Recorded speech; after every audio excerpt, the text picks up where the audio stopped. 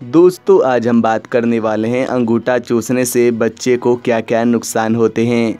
दोस्तों, शायद ऐसा कोई व्यक्ति ही होगा जिसने किसी बच्चे को अंगूठा चूसते हुए कभी ना देखा हो। अक्सर बच्चों में यह शुरुआत में सामान्य होता है, लेकिन यदि आपके बच्चे की यह आदत उसके चार साल के होने के बाद भी बनी हुई है तो आपको डॉक्टर की सलाह लेनी चाहिए। वैसे आपको कोशिश तो यह करनी चाहिए कि आपके बच्चे में यह आदत आते ही आप तुरंत ही इसे किसी तरह छुड़वा दें, क्योंकि यदि आपका बच्चा लगातार अंगूठा चूसता है तो इससे उसे काफ़ी नुकसान होता है। आइए जान लें कि अंगूठा चूसने से बच्चे को क्या क्या नुकसान होते हैं।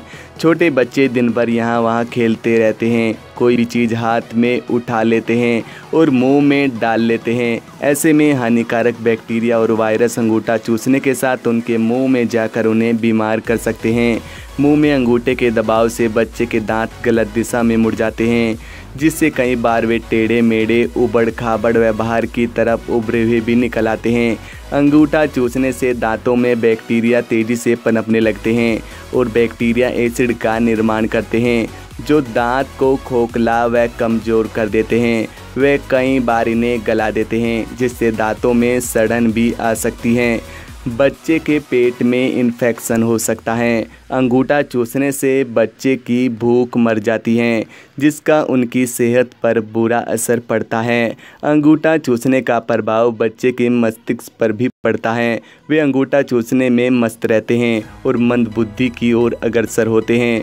अंगूठा चूसने से बच्चे के दांत बाहर की ओर निकल आते हैं, होठ मोटे होकर लटक जाते हैं, मुँह खुला रहने की आदत पड़ जाती है। एक ही हाथ का अंगूठा चूसने के कारण वह अंगूठा पतला हो जाता है।